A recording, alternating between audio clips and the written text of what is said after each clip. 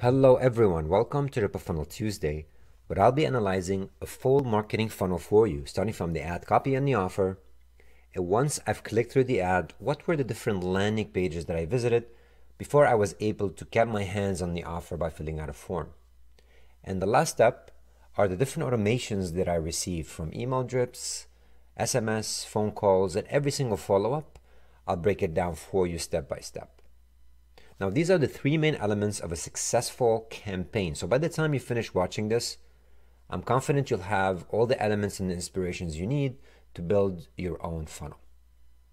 If you like these types of videos, we launch them once a week. So please make sure to subscribe, like, or follow us on the channel you're watching this on. And even leave a comment if you have any feedback. This helps us support our channel and keep these videos, these videos coming. Today's case study is adoutreach.com. I found them on Facebook, so let's start from the beginning. This is actually the ad. It's my uh, phone stream. I was scrolling through and I found, as you can see, it's a personal brand. Usually it's a company sponsoring the ad, but Aleric decided to put his own face on the brand. Then you can see the banner. Very clear CTA and a simple graphics. Nothing too crazy as you can see new YouTube Ads Webinar 2022 edition. Register now. So the offer is very clear, and I always emphasize and talk about the offer because I see a lot of ads that do not make it clear to me from the get-go what am I clicking on, what am I getting on the other side. So that's really good and really important to clarify from the copy, from the banner, and so on. Now the second part of the ad is the copy. You can see here brand new YouTube ad strategies for 2022 and a little bit of a copy. Most people will stop here, but Aleric decided to actually invest a little bit more in storytelling and explaining what am I getting from this webinar. I think this is a good strategy. It pays off long term, and I'm pretty sure conversion is impacted based on the copy you add here. So if you are to add this copy, make sure it's well put and describing exactly what's on the other side. Okay. There are different content strategy. I'm sure you can look these up. But overall, they did well. Uh, they did very well in here, and kind of building a little bit of, um, you know, case and explaining what to learn, what we will be learning from this webinar. Now let's look at the link. I always analyze the link because it doesn't stop once the ad is done. Tagging your links appropriately is going to help you identify where traffic is coming from and what's converting best. And you'll find out about this in a second. Now let's look at this. This is URL, but then it follows right here. Ad ID is just random ID for now. And by the way, Google recently started supporting what they call UTM underscore ID. That's a new UTM variable they're supporting. So it might be good to introduce it in your future campaigns only if you need it because it's an optional field. Then you have the campaign tofu. Usually this represents top of the funnel. And they added a little bit more kind of identifiers for their own sake. Whether you add these or not, this is totally up to you. It could be anything really. But in this case, they just tagged it in a way that they understand what that is. Okay, so this is exactly the entire sentence that was tagged for this ad. Okay, so the campaign name is top of the funnel, conversions, management, new webinar, 2022 ads, Darnielle. All right, now you have the sources Facebook, the medium is cost per click, CPC. The content is the new webinar with Aleric plus two. And this could mean the banner or the copy, depending.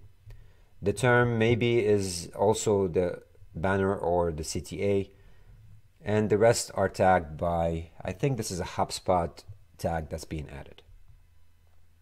Very well done on the ad. Great job on the tagging. Now let's look at the retargeting ads on Facebook. As I scroll down, this is the second ad. This is after I've signed up to the webinar. So I'm a little bit down in the funnel. And this is why if you look on here, he's given me lifetime access for a YouTube advertising masterclass for 97 bucks. Now, this is where this is where the hard sell comes in. The first hard sell to be specific. The offer was a free webinar. The second offer, $97 course. You can, you can see the strategy in the pricing here below 100 bucks. And they have a premium product where I speak with their team. They help me set things up, which is a premium product, obviously a lot more than that. I don't know the exact price, but the strategy of moving me from a free to a little bit of money investment and then down the road to a full investment is a very smart way to get the funnel going. Now, from a tagging perspective, look at this. UTM is bottom of the funnel. So you see why tagging is important because if I click on here and end up converting, the conversion should be attributed back to the ad and then I can get my return on ad spend properly mapped out. All right, I really like their funnel strategy or their ad strategy. The copy, the graphics, and the tagging are all in place. So that's phase one. Let's move on to phase two. This is where we go through the landing pages. So this is the first page right here. You can see how to scale your business seven to eight figures with laser targeted YouTube ads. So the main headline is very clear and you have to, I repeat, you have to make your headline as clear as possible so people are seeing the consistency between your ad offer and what you're getting here. Now, one other element of a successful page is the removal of any URLs or distractions. There are no URLs here or links. It's not a website. So it's very simple, removed from anything else. I can either convert by filling out the form or I can close the tab. So 50-50 chance. Very basic branding. I think this is not the right UI. Maybe making it um, a tag under the button. It looks like a CTA as it is. Not a big fan of this one, but the CTA is nice and clear. Reserve your spot now. You have the time, and the hour with Aleric. Now, this is the trick here. This is not a live webinar, you guys. This is actually a pre-recorded webinar. And there are dozens of products that you can deploy today to have an evergreen pre-recorded webinar that runs few times a day. Okay? So let me show you a little bit what's going on on this page. I just refreshed it.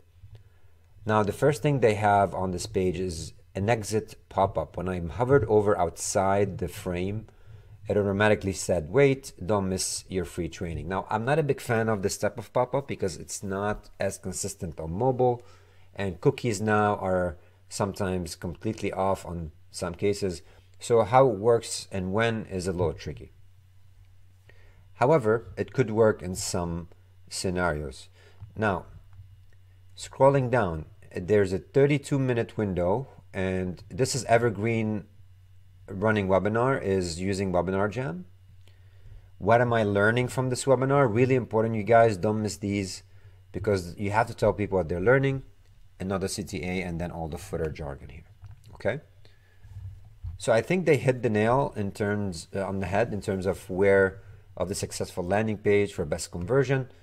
Uh, the only thing that I think was missing, maybe some social proof somewhere, but it's not a big deal because it's an event, it's a webinar. There, he's not selling me anything yet. Okay. If I click on reserve now, it's going to open up a form that's being fed by his, by his webinar, Evergreen Webinar product, which he's using Webinar Jam. All right. Now there are dozens of other products. I'll give you a couple. Webinar Kit is one. You have um, Livestorm another. Demio is a third product. Just find the one that fits your budget best and the features that you are looking for. Some of them provide both live events where you can be broadcasting live as in Zoom environment and some have pre-recorded options or both. And you can see the times. You can easily set these up in the product of choice. And there's a phone number because I got an SMS confirmation as well. All right, very straightforward. Now, once I filled this out, I got redirected. So this is where the webinar recording or replay, if I refresh, I can start from the beginning. So this environment is really dependent on the product you're using. But overall, if you start the broadcast, there's a countdown. Um, you can type your question here and so on. Now, it's a pre-recorded. That means nobody's live. But in this particular case, what you can do is forward your questions to someone who is available for a live chat. Okay, I've worked with several companies who redirect questions to another um, department and they could answer on the spot and reply back to this person. So there are ways for you to be actually present on every single one of these live events because you don't want people to ask questions and nobody's answering, right? That's kind of important. Now, this is a very well done video. He's actually pitching his $97 course at the end, a little bit more material, and also offering to speak with a representative on his team through calendar. So he's not only relying on, you know, just the meat of the content, but he has step two, step three, and the copy was buttoned up. And mind you, not much design going on on the presentation itself. It's a combination of him recording himself and then a very simple PowerPoint presentation. All right, so don't overthink these types of videos. As long as the content is good, you should be in good shape. All right, so these are the two landing pages so far. Evergreen webinar, re repeating three times a day, pre-recorded, and then the webinar page, which is hosted on Webinar Jam, as you can see right here. All right, now the third link which is actually the $97 product, okay? This is the page four. So this is the third upsell page. Uh, or I can say I can say the third upsell. It's actually the second page with an upsell that's outside the webinar jam. So here is um, the pop-up. Then you have slightly different components. This is a countdown that's repeating as well. Buy now, learn more. Again, this is not what he's pitching. This is just a little bit of money investment because if I'm willing to give him $47, I'm probably willing to pay him a little bit more uh, and even a lot more in some cases, right? As long as the copy, the content is good, usually people feel more comfortable giving uh, more money. Now you'll notice this page has a lot more substance. Main headline, because he's selling me, he is adding the social proof. It wasn't on the webinar page, but it's certainly here. So you have the copy, um, real people, supposedly, from real companies. Always include real case studies, real people. And if you don't know how to do this, there are hundreds of frameworks for building case studies. One simple way is to discount your services in the get-go, in the beginning. If you're a new business, so you can gather results, interview, and get your clients' times. Okay, that's one way of doing it. So again, a lot of case studies here thrown in. Um, more case studies and screenshots from ads. Okay, I think this is good, but it becomes very cluttered. Like I don't know if people who are want to pay 47 bucks are gonna go through all of this. So it's debatable what's the point and if it's working. Now, there's a huge scroll, guys. I can keep scrolling forever. And this comes back to the ClickFunnels way where they have so much content and copy and social proof. People feel too overwhelmed and then move on to the next next step. Um, I'm assuming maybe this is the same strategy, but I've seen this repeating.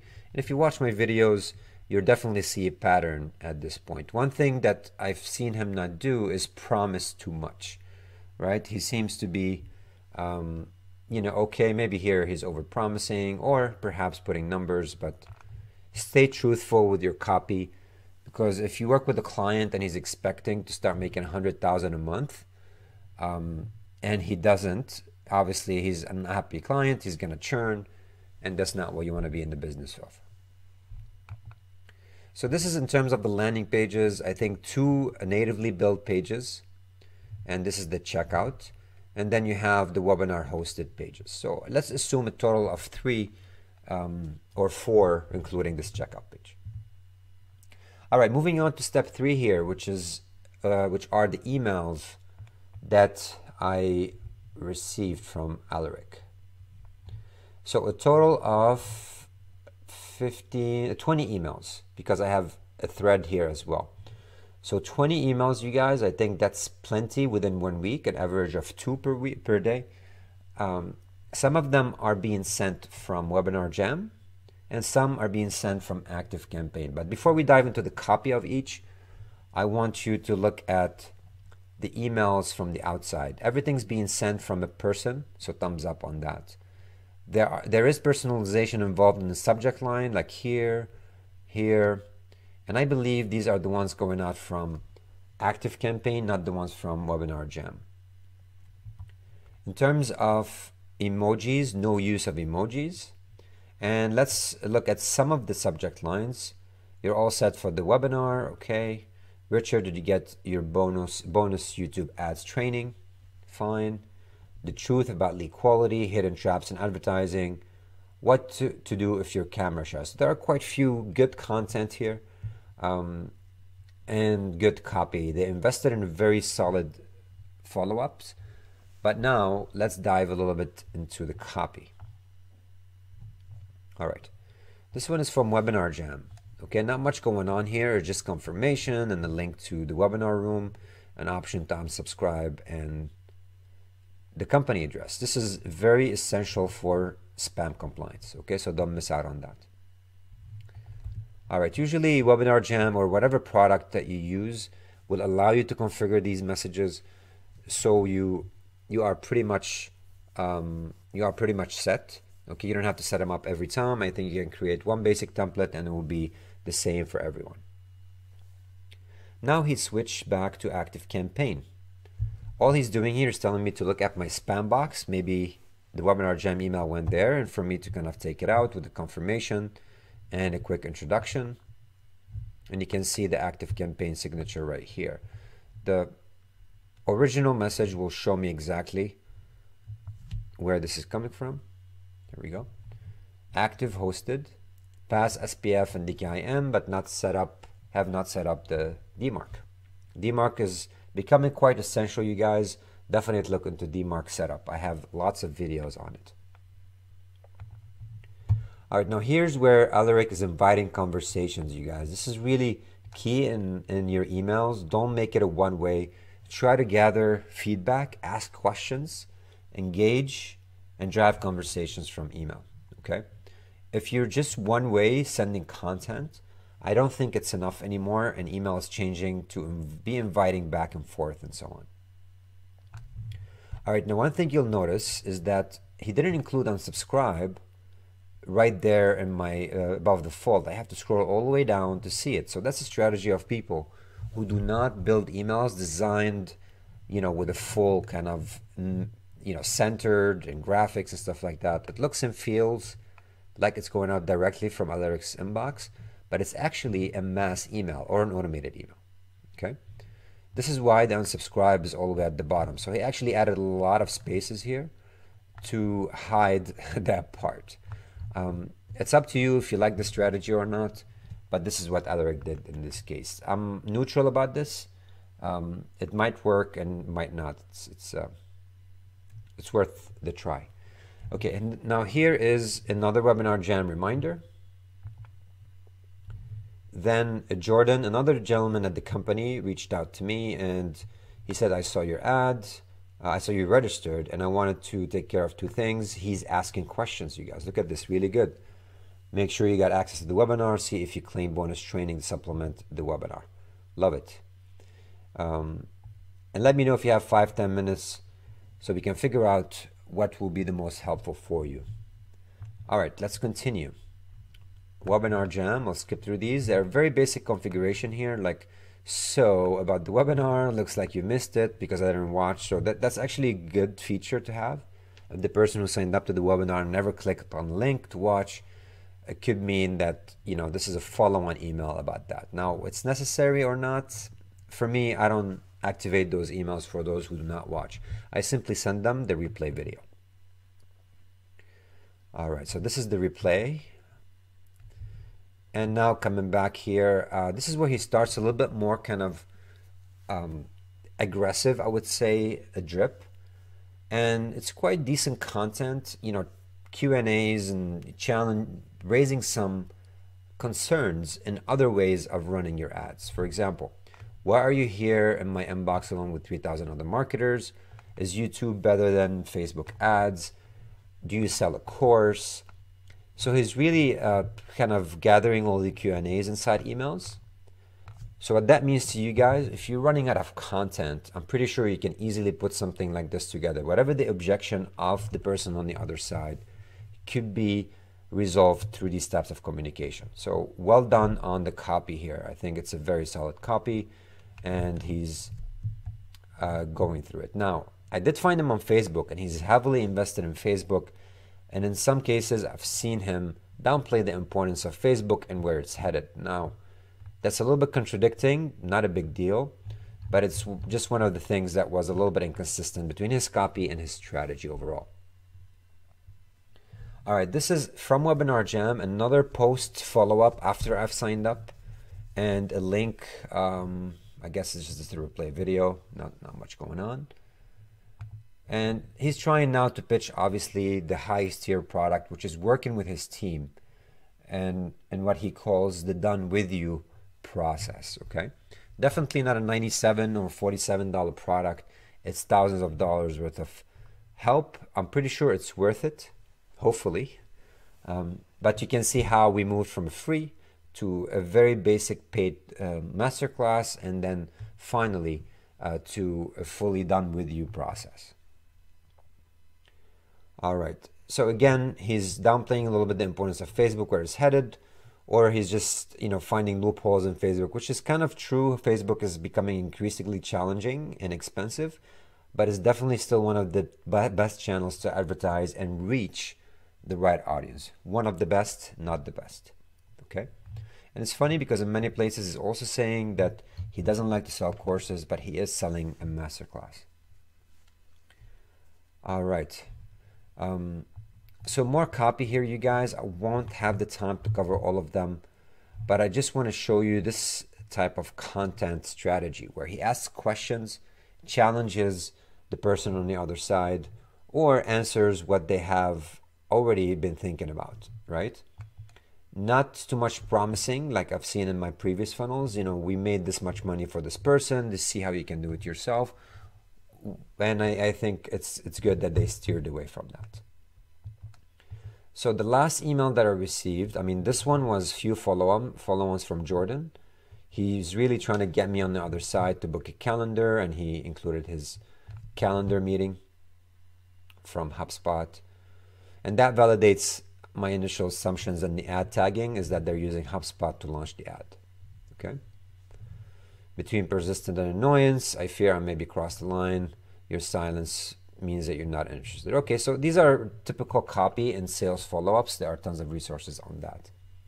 Finally, he's inviting me to the ad, uh, to his Facebook group. I'm sorry. And guys, I cannot advise enough on the importance of Facebook groups or any group product you use to manage a community. I like Facebook because it connects with a lot of tools, notifications, and if your audience is on Facebook, I think Facebook is the right place to go. Okay. And they're investing heavily in this product. So Facebook groups is so easy. You can run something in a few minutes and invite a lot of people to it. Okay. Include it in your funnel. You will not uh, regret it.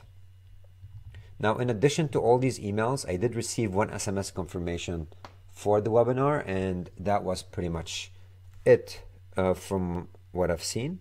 Now, there might be some additional SMS that were blocked or anything like that. I cannot uh, confirm, but I think the only SMS um, was the one for the webinar confirmation. So here it is for you guys. I really give this funnel around eight, um, eight to nine because they have the ads well done, the landing page is buttoned up with the proper kind of ascension of the selling model. They have a pre-recorded webinar that they invested in, so they're not really sitting there every day three times booking themselves for an hour. Very good follow-up sequence. Um, I would have liked to see somebody maybe pick up the phone and dial out. That would have added a lot more conversion to their funnel, but it's not necessary if you don't have the capacity to do it.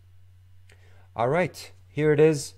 I'll follow up next week with a new funnel if you like this type of content, again, please support our channel by following, subscribing, or just leave us a comment. I would love to hear your opinion about this content. Thank you.